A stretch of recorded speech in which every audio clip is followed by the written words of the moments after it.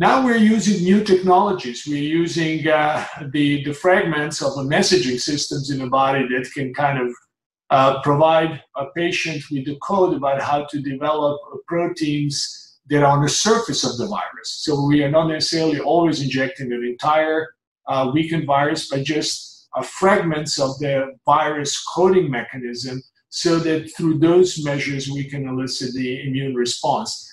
The reasons why those are excited, those new methods are excited because they allow us uh, faster development of a vaccine and it provides its new venues for the vaccine. And what is really encouraging is that very many uh, vaccine manufacturers and uh, academic institutions are making a very rapid progress. So there is a reason for the optimism, but it has to be optimism uh, that is uh, associated with uh, academic rigor, scientific rigor, and caution.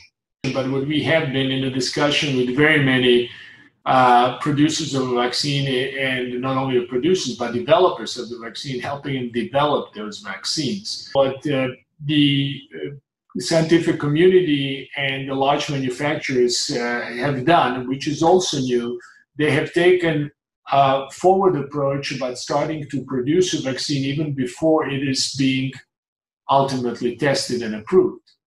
The reason for that is that if, it, if the vaccine uh, then shows the safety and efficacy, they will have already a batch of a vaccine ready for distribution.